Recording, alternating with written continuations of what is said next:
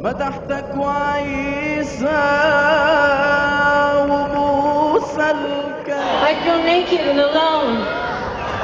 I'm sure you can relate. Sometimes I want to beat myself up.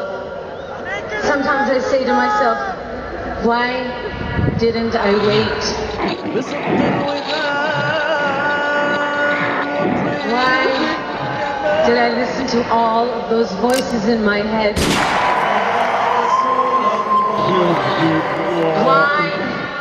I have patience. فتحت كويسة.